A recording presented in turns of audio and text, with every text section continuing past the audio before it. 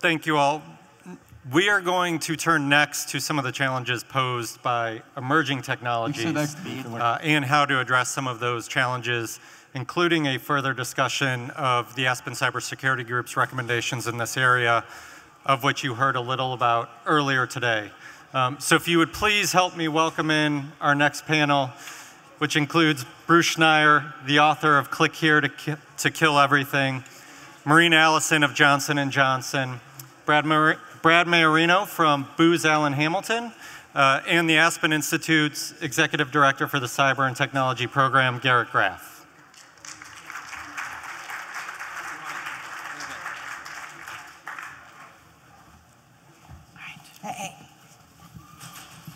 Good afternoon, everyone. I'm excited to, for this panel discussion to talk a little bit about um, some of the group work that we have been doing in the Aspen cybersecurity group, uh, eh, particularly in the realm of ensuring confidence and security in emerging technologies, particularly in the IoT space. And uh, some of this conversation is going to be based off of this uh, white paper that we issued today with the uh, IoT first principles of security, which Marene has worked uh, hard on over the course of this year.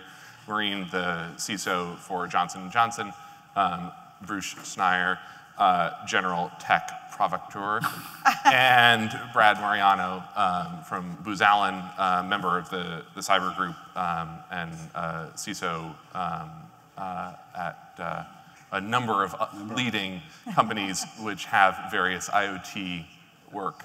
Um, I thought I would actually start with Bruce. Um, you and I were talking before dawn this morning uh, about your new book, Click Here to Kill Everyone. Um, and uh, the idea, a book that's uh, grew out of, in some ways, your frustration with buying IoT devices. Um, and if you could sort of tell the story a little bit of the genesis of that book and sort of the fears that it raised about where this, uh, this trend of IoT is going. You know, the book's really written about an internet that can affect the world in a direct physical manner and how that changes everything in security. It used to be about data, and now it's about objects and people, and that's the IoT. Uh, I think the anecdote you're thinking of, not wasn't really genesis of the book, was helping a friend uh, try to buy a baby monitor. And right, I'm a security guy, I'm a privacy guy, I can, I can read tech specs, and I'm not able to figure out how they work, what the security is. I, as an expert, I'm unable to choose a baby monitor based on their security features. The data isn't there, I can't get the information, I can't get my questions answered. And this sort of very opaqueness is permeating our industry. Now, baby monitor is just privacy. When it comes to a thermostat or a car. I tried to buy a car last year and wasn't, was unable to buy one, that didn't have an internet connection. I mean, they exist, but not in my fare class. And so I'm looking at this, this IoT, which is the computerization of everything, where it's all the problems we have in the computer field, and then robots. And that just can't end well. And that's really what, what my book is about. The provocative title is, I mean, it's really about how computers fail. We, cars fail, there are parts, parts have mean time between failures, and we have an entire ecosystem of car repair shops to deal with, with how cars fail. Computers fail differently. They all work perfectly till one day when none of them do. And that failure mode is not something we're used to. So my book is trying to pull all of that together. It's primarily all about policy. This has been a great day listening to, to people before me, talking about how to do this in policy, uh, the principles. I mean, this is really what we have to solve. What are the policy issues in this new world of, of dangerous computers? So, Marene, uh, tell us a little bit about sort of how this became a focus of the work and sort of what the conversations were as the group pushed towards coming up with these first principles of security. Um, the Aspen uh, group, when we looked at it, was uh, we, we first, one of the very first things we did is we looked at all the body of work that was out there, work who had been done by NIST, work who had been done by AdvaMed, which is in the healthcare sector, is one of our ruling bodies around medical devices, the FDA, uh, and industry groups, the car manufacturers. We read Bruce's book. um, and, and uh, looked at some of these and, and the hype. The St. Jude's uh, issue was shorting the stock on, on the healthcare devices, uh, as well as uh, Black Hat and DEF CON, uh, certainly sensationalizing um, um, how medical devices uh, could be safety issues. Uh, and we brought all that together and we realized we didn't want to have a recapitulation in another document that said the same thing. But we also realized we needed to come, come up with something uh, fairly short, understandable by consumers. Most of the stuff out there is, is, even as a security professional, I have to ask myself, what do they really mean here? And so we came up with a, a, a fairly short document, seven general principles that uh, can be applied in different ways. In the healthcare industry, I will certainly apply them in a much different way than, say, a connected coffee pot manufacturer might have to do. Uh, but we looked at them, uh, things like our um, uh, layered security. It's not the coffee pot that's going to um, uh, be insecure, but it's going to be one where that data goes from that coffee pot. If in your house you don't allow um, how much coffee you consume out, then your privacy will never be invaded on, on whether you like decaf or, you know, or caffeinated or Starbucks or Folgers. Nobody will know. But if you do, then you are going to have to add some layers of protection. Additionally, as we talked, as Bruce has said, um, uh, we call it the bill of materials. Uh, in, in the healthcare medical devices, uh, when we look at medical devices, we go through every single element in every piece of technologies that's in them to ensure what we have is secured as well as sustainable, that it can be updated, which was another uh, principle. And so we brought these together. I think you'll find them very short. Most people will um, uh, be able to read them and recognize them and apply them very quickly. And then we had a long debate on whether we should recommend a uh, consumer reports or a UL type of listing on devices, uh, and then pulled that to the side uh, because industry will actually guide that depending upon which industry the devices are in. Bruce is already shaking no, his head. No, no, uh, go, get to me later. Okay. so the, the seven principles, as they were effectively boiled down, is transparent, uh, that security needs to be baked in, mm-hmm. that it needs to be transparent about product safety, it needs to be transparent about product privacy, the manufacturer needs to be accountable, the, the software and the security needs to be updatable, and that it needs to be layered. Mm-hmm. Um, uh, talk a little bit about uh, sort of how you thought through that construct and sort of what stand, stood out to you as you were looking at this project. I, I think uh, two things came out is the intended purpose of the devices and one size wasn't going to fit all. Uh, if you look at IoT, uh, it can be everything from a door sensor uh, all the way up to, um, uh, in my line of work, medical devices. So one size definitely wasn't going to fit all. Uh, and then the other was, what data does it collect? You know, we heard from the, the privacy group right before us uh, that it is really about, it, it is about the data and what protections you put on in it. And are we collecting data that's going off that people don't know is being collected?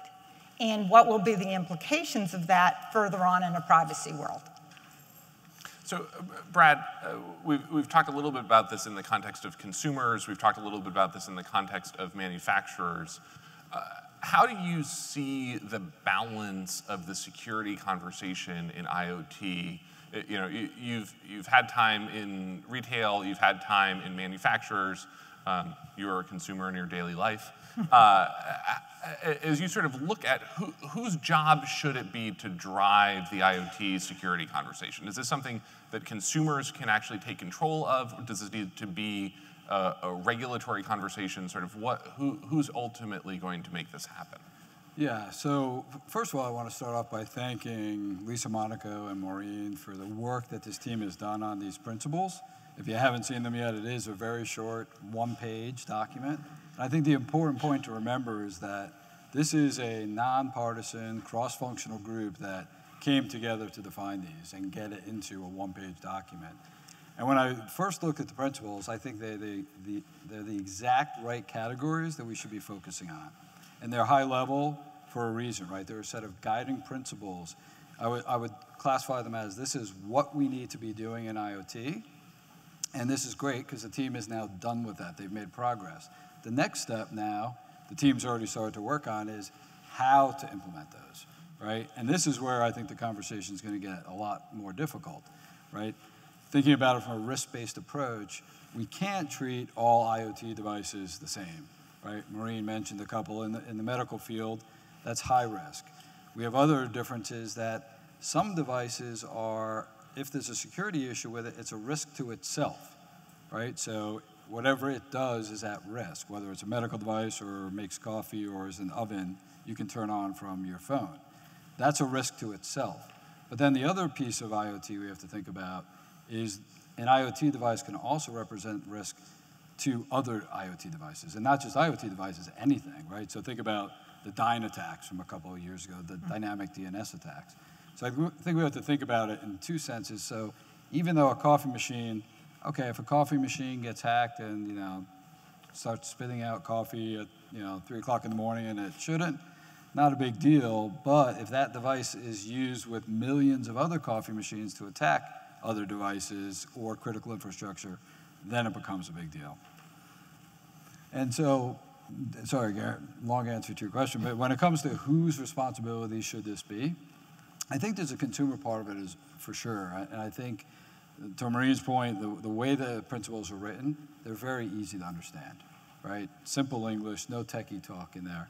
And I think once consumers can start understanding it, they can start asking for it and differentiating right? So buying product A versus product B because product A has that label or has that security feature. Mm-hmm. So I think consumers are going to play a big role. Bruce, what do you what do you think? Is that realistic? Is this something that ultimately consumers can be? I'm not a big fan of uh, consumers doing this at the at the point of register. Right there, they are. That's when your sort of type one thinking kicks in. It's all about price. It's all about satisfaction. That's not the place where you make all these security and, and safety trade-offs. So I, in a lot of ways, principles are easy. When I was researching this, I, I found 19 different sets of principles for IoT security devices. I did a blog post where I listed them all. My book has one that's 20, here's number 21. And honestly, they're all basically about the same, more or less detailed, differences around the edges. I mean, but that's not the hard part. The hard part is how do we get companies to implement these principles? And looking at every other industry, we don't get security and safety unless it's done by the government. And it's a combination of things. It is uh, rigid regulations. You can't drive more than 55, period. Flexible standards. You can't drive fa uh, faster than the road conditions allow. Liabilities, insurance, uh, international agreements. I mean, lots of things fall into this mix. But I actually challenge you to find another industry in the past hundred or so years that has dramatically improved safety and security without being forced to by the government. I can go through the. I'm going to raise my hand. Oh, wait, wait. Oh, I'm going to say healthcare. Not a chance. It, health, it's the FDA. I mean, I think it's, it's, it's medical devices, it's food, cars, airplanes, consumer goods, workplace safety, uh, agriculture, restaurants, most recently financial products. Right? In every industry, the financial incentive is to skimp on safety and security, suffer the consequences, which are minimal, and ride it out. But we taught Equifax that last year. We're teaching Facebook that today. And these companies are not going to suffer losses. They're going to just wait it out. And unless government takes any one of these, I don't even care which principle, and starts implementing it, and where's my California guy, the guy on the anti-baby dropping crusade, right? Okay, he's going to start doing that. He now has the first IoT security law. It's not that great, it's kind of vague, but it's a start. And his job is going to be to interpret what, what reasonable security fit for a purpose means and enforce it. And I think that's going to be the start. And, and you know, if they had you start with these principles, that'd be great. and then and maybe we get somewhere. Well, the reason why I disagree is, is in the healthcare industry, in, in medical devices specifically, there was a group of us with the Health ISAC that came together uh, and worked with the FDA to create the um, original cybersecurity of what needed to be done. We realized as an industry that, the, uh, that uh, cybersecurity could have a safety impact. And the companies that came together worked with the FDA and uh, created the principles uh, that were out there uh, and, and what our protocols were. Uh, was it perfect at the time? Have we gone through and changed it? Yes, we have. Are there companies that aren't following those rules? Which may be where we need the regulation.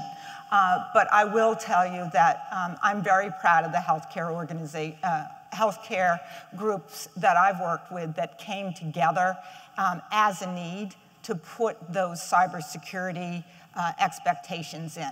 And that included, again, a bill of materials, testing, uh, setting up websites so that if a researcher had a, uh, a, uh, uh, something that they had found that was a vulnerability, that we would work with researchers, uh, that after manufacture, how we would work with CERT to put out vulnerabilities that are found after the fact, because we, like everyone else, use computer pieces that sometimes have to be patched later on, and or uh, cert, uh, certs from SHA-1 to SHA-2 that you have to upgrade over time. And so I do think in that, in the safety arena, and, and health, of course, being one of the primary uh, safety areas, could be a model for other areas. But will there need to be enforcement, um, as Bruce has suggested? Uh, I would say likely. And to work with the FDA. Right. right. The FDA is there. Government is in the room. Right. And if government didn't have teeth, they're not going to be as in the room. So, so yeah, work with the FDA is great, but the FDA is an enforcement agency, and that's what makes them great. Yeah. So, I, I, do think I do think a carrot approach over a stick here is going to get us farther. I mean, this is securing IoT is hard. Doing security is hard. That, that is why we're all here today, right? And IoT, I think, presents some real challenges. And a real pragmatic example, I've been in the room with some engineers talking about an IoT device, you know, that's like this big, that has a very small amount of real estate, right? So every security feature you put on that takes battery power, takes storage, takes CPU away from functionality that could be part of the product. So there's a real trade-off I think that needs to happen. So if we're talking regulation, I think we have to be really careful in how this industry is regulated. So, so what's your carrot? I think the carrot is customer differentiation. I think, I think well, in Marene's example, it's, it's, it's safety, right? I think. How, but it, what's your carrot, right? I'm a company. You want me to spend more money, reduce my features, increase my power. Yep. You said you want a carrot versus a stick. The stick is I go to jail if I don't do it, right? I go to jail if I kill people. Yep. You want a carrot. What's my carrot? Revenue. I got better revenue without listening to you. Product sales. Product sales are great. No, if I'm comparing, if we can, if, if we can take these principles and use them to educate consumers. Look, I'm Equifax. I don't even, my consumers couldn't care less. They're users. They don't even know I'm using. Right? What, what's your carrot? For products? Yeah. IoT products, it's revenue. Honestly, we, we haven't gotten people to make uh, pajamas that didn't burn up in fires without forcing them. Because I don't think people understand what IoT security is. Yeah, well, so one of, one, of, one of the questions, though, Brad, that I think does make this such a uniquely challenging environment for security is you're talking, or, you know, if I have a security problem in my iPhone, yep. you know, this device lives for 18 months on average. In, you know, it, Apple will update it a whole bunch of times, even just within that 18 months. Um, you know, Bruce, in your book, you talk about sort of how we're moving towards these devices, um, you know, the connected car, which is going to be on the road for the next 30 years. You know, we're, we're putting cars out today that, you know, will, might occupy the road alongside Elon Musk's flying electric automobile uh, powered by nuclear fusion um, in 30 years. Um, so how do you begin as, as an organization and as a customer to consider the, the downstream risk of the IoT devices that you're bringing into your lives? Yeah, I, I think one of the principles is around, I think the term is timeout. So after a certain period of time, if that device can't receive updates anymore or can't stay current, it would then time out that connectivity, right? So the hard part is, yeah, you're right. If you're going to buy an oven and you're buying that oven because you can connect that oven to a phone and turn your oven on from the office before you get home to preheat it, after five years, let's say you end of life the software on that, that, that functionality, does it go away? Does it disconnect from the internet? And I think that's something that would have to be part of your sales process, that you'd have to, just like when you buy a piece of software, they all have an end of life terms in them. Mm-hmm. I think that's the same thing that's got to happen because companies cannot keep updating IoT devices indefinitely, mm-hmm. right? Even though that oven may have a life of 20 plus years and might have multiple homeowners who use it, the software on that has an end of life. Yeah. I, I also think you're going to start seeing compute uh, right now, it's let me buy whatever is available out there. But now it's an opportunity for innovation in compute that you have something that just works for its intended purpose and doesn't come with 75,000 other features in it that you don't use that can be exploited. And, and even today, if you look at our PCs, are they really just IoT devices? Yes. And are all of them, um, do they have, do you use all the features on it? Or do you really just use three and, and that's really it? But they're there. And especially as you get into things like our supply chain, we talked a lot about supply chain today. Um, manufacturers do not change all the IT out every five years to the chagrin of the technologists in the room and the manufacturers. We don't, we don't, no one does. You're, you're looking at a factory from uh, having a 25 to 45 year lifespan. But how much IE is built in to something that doesn't ever need to talk to the internet? And so I think this idea of bill of materials, what's in it, intended purpose, uh, we're talking about it now around IoT. But as we move forward, I think it will become something that consumers may talk about. Not all of them. My grandmother probably will not be talking about that. But people, as generations come next, are going to start looking at this what's in my thing? And why, why is it connecting this data about me? We saw the privacy laws. GDPR is a great example. California, as soon as it folds over, um, we likely will have to put most of the same requirements on any website that touches US citizens, because I don't know how you know a California citizen went to Massachusetts, their IP address will be Massachusetts. So, and the law applies to them. So we now are going to be facing some things it will likely cost more to compute. And what we're going to look now is, is how can we just kind of box the compute to a very hardened thing that we can use versus having all the features that create vulnerabilities. So, Bruce, uh, uh, let me, yeah, go ahead. I think this is a good idea, but it's again, I think we have to force industry. The, there's a reason why your refrigerator comes with all these features that you don't want that 10 years ago, when someone designed a refrigerator, they made a custom chip that refrigerated. And that's all it did because that's the way you design that. Today, you pull a generic CPU off the shelf, stick it in your refrigerator, and it comes with an IP stack and video software and camera software and audio software. And you've got all those features because that's the cheapest way to make the thing. And if we want the refrigerator manufacturers or any other manufacturers to make the thing with less functionality, which is a great idea, there has to be some financial incentive. And we don't get a massive fine from the state of California is a decent one. There are others, but I don't think it's going to be the market. I don't think people are going to say, I'm going to choose my refrigerator based on the number of unwanted features that are in the device and the, in the documentation I can't read. We, we, we're, we're trying that and, and it's, it's not working. Now, maybe someone like Consumer Reports can step in. They, they've recently issued a report about routers, and you know, there's some pressure there.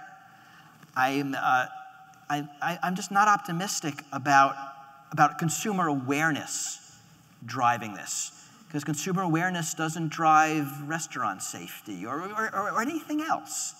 It is the, the regulation that we can just sit here knowing that the ceiling will not fall on our heads and not even worry about it and not have to check the building plans before we entered this space to make sure that as museum consumers, we are in a safe building. It's, just, it's not the way society works. As long as you stay away from the albino alligator. Yeah, yeah, so yeah, I think yeah. going in the, uh, he looked kind of placid. Those turtles didn't care. So what is the, what, what is the policy response to this? One of the conversations we ended up having um, this summer, which sort of ended up not being part of the first principles conversation, but thinking about sort of what the government's solutions to this challenge ends up looking like, is uh, someone floated the idea of uh, sort of whether we need uh, the equivalent of an IoT pension benefit guarantee corporation.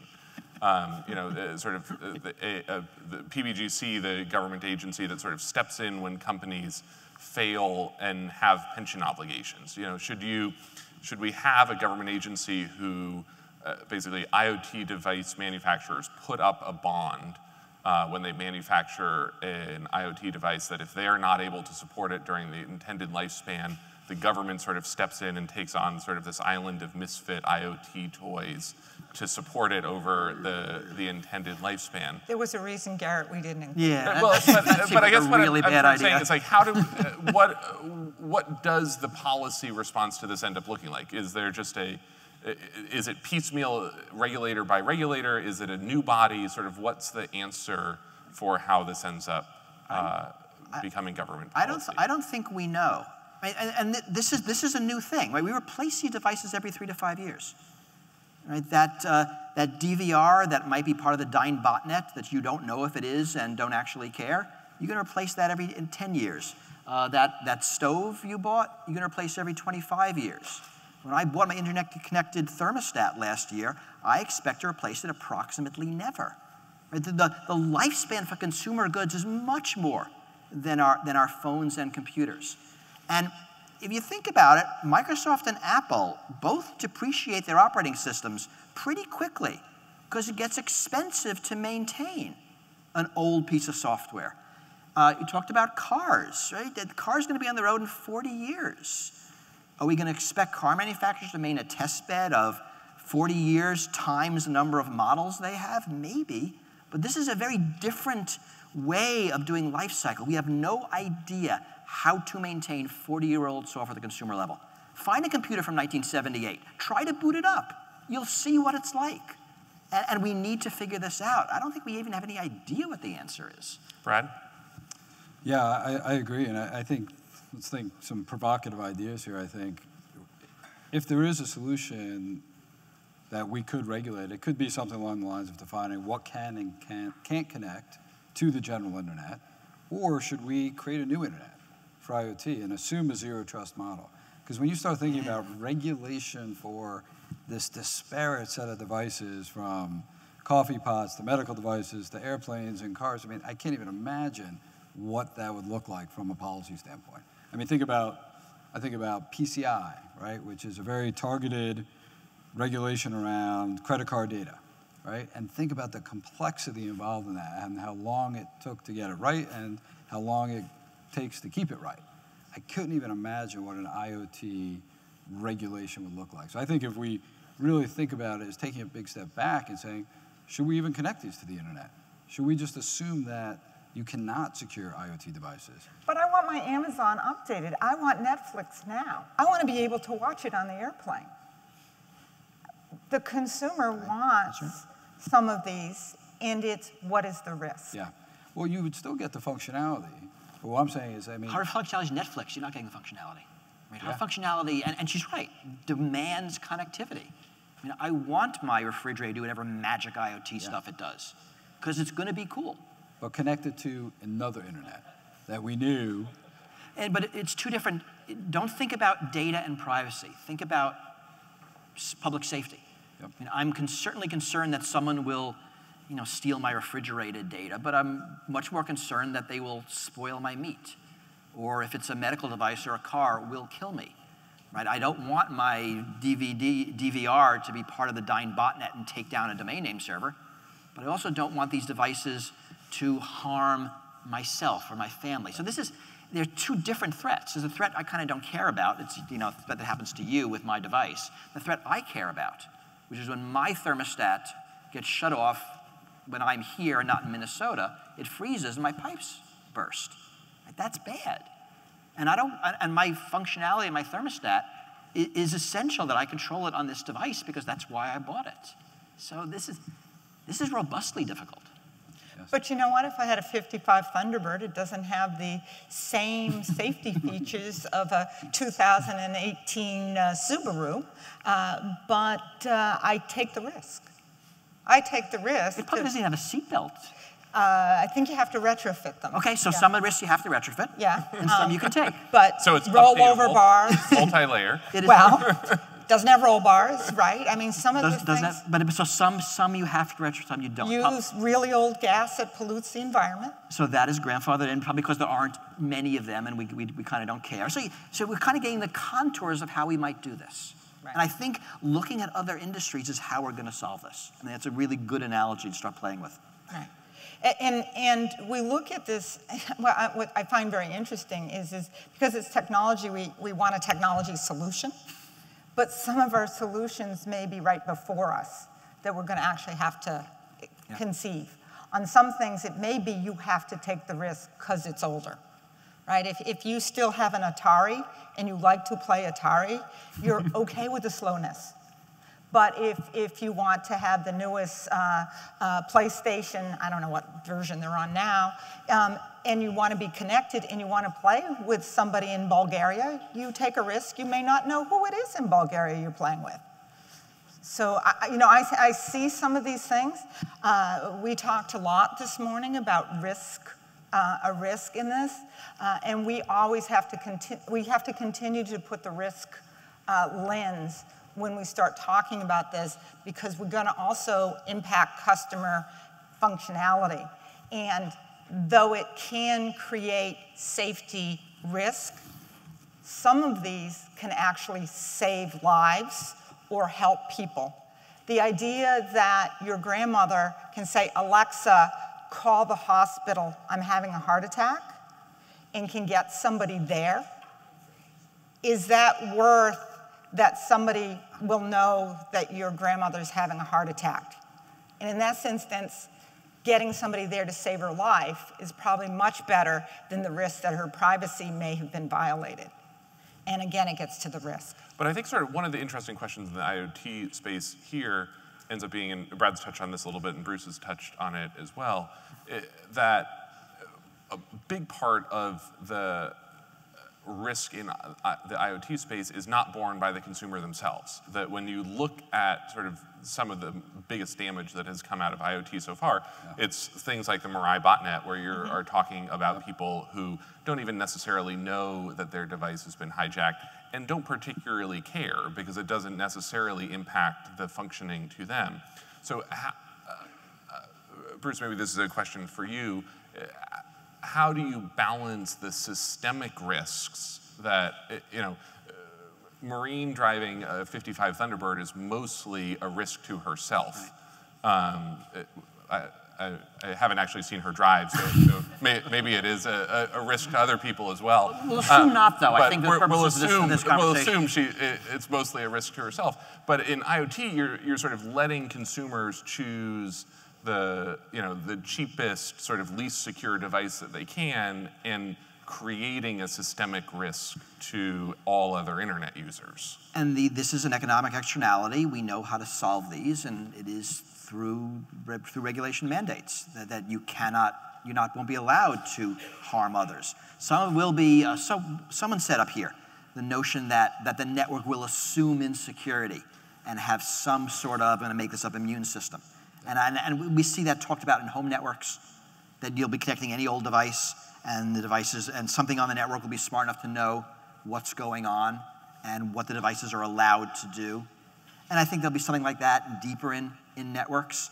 But I think a lot of the problem is this. I mean, it's very much a pollution problem. That your actions, you know, I buy that DVR, it cost me uh, $50. I plug it in, it's working. It's part of a couple of dozen botnets now because the Dyn code is public. It's right now being used to DOS systems. There's not even a red light that indicates that. I have no idea. I kind of don't care. And, and, as long as that device is plugged in to, uh, to my, uh, my home, it's going to keep doing that. So we need something outside of me, outside of that consumer relationship with me and the person who sold it to me to make that work. And I think we're going to see that more and more. And again, I'm less worried about privacy and more worried about, about, about safety, about actual uh, data integrity, data availability. I mean, I'm sure I don't want someone to hack my hospital and steal my private patient and medical records, but I really don't want them changing my blood type. Right? That's worse. Brad, uh, sort of similar question for you on, uh, you know, you, you have manufacturing background, you have retail background in this. Uh, how, how, do you, how do you look at this from the standpoint of bringing systemic risks uh, as an externality of IoT adoption? Is this something that it's fair to even ask consumers to be taking part in that conversation? I think so. I mean, when you, when you look at, so as a purchaser of security equipment, or I, I should say, as a purchaser of technology, one of the key things I look at when I look at technology is security functionality, right? Is, can I secure this technology? I think taking that same parallel and just bringing it to the consumer level and bringing it down a few levels to make it easy to understand. So when you're picking up the back of that box and you've got the features, you know, the competitors have, you know, two check marks, you have five. Teaching them what the difference is and why there's a value in having this, I think is a, a powerful way to influence manufacturers and educate consumers about what's important. I'm not convinced you've actually met consumers.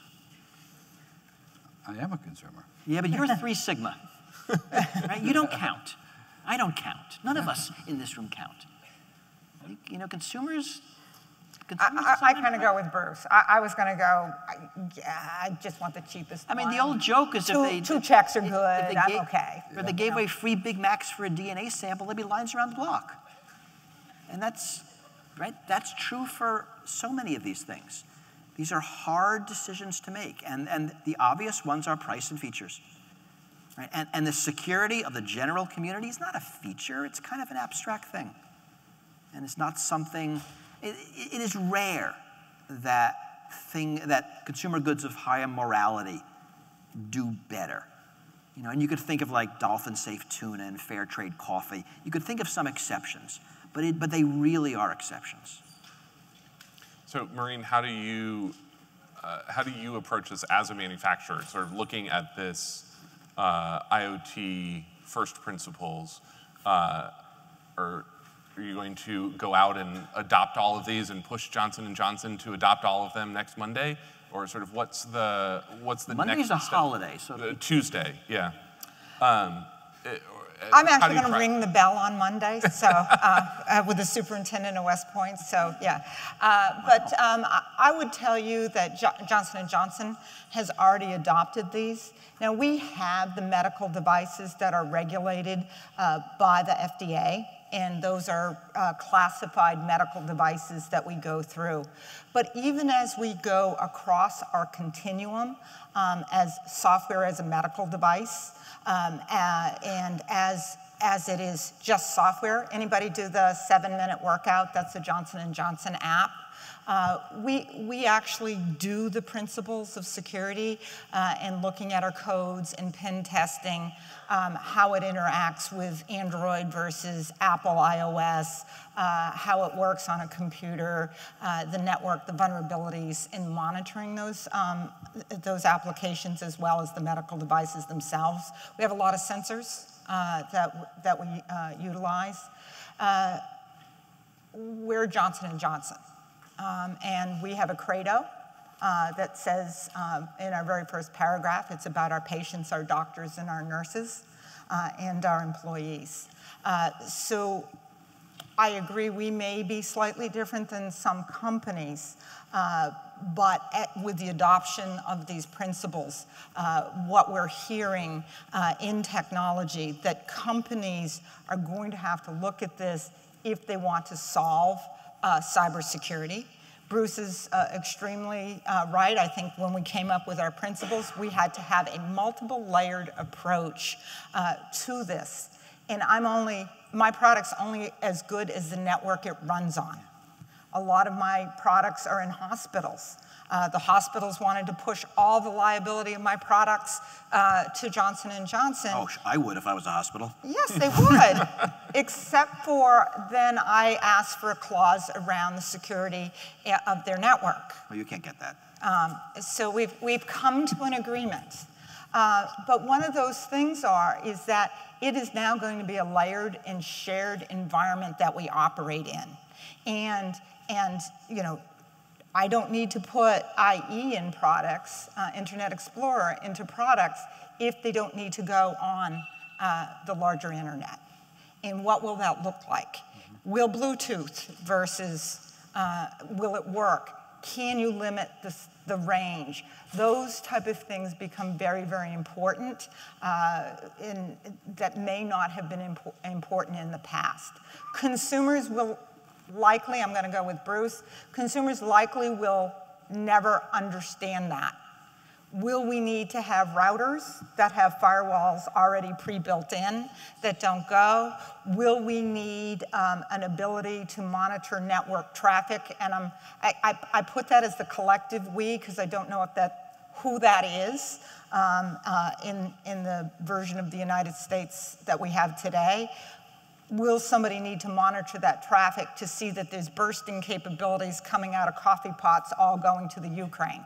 I don't know that answer, but those will be some of the innovations uh, that we will likely uh, Networking security is not anyone's favorite. I don't think, you know, there's a very few uh, people who, who absolutely love that domain.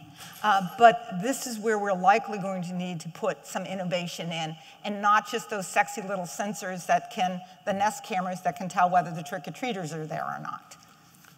Well, speaking of sexy little cameras, uh, we're going to be talking about algorithms and facial recognition as part of the artificial intelligence conversation and ethics conversation up next. So thank you all for joining us, and thanks, Marene, for some great work. Thank you. Thank you. All right.